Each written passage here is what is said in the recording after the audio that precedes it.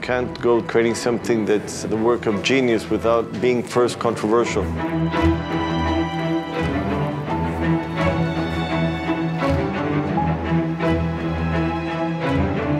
He is the living artist with the greatest number of museum exhibitions.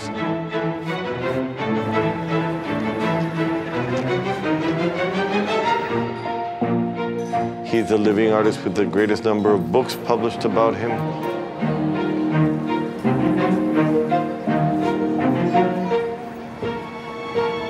And he's a living artist that has the greatest international appeal and the greatest number of people attending his exhibitions. Art is about communication to as many people as possible, and he has succeeded in capturing the attention of a very large global public. He also doesn't fit into any cubbyhole. He stands alone. His life is to paint. His life is to do sculpture. Botero will never die. He will be there in the art history of the world. That's it.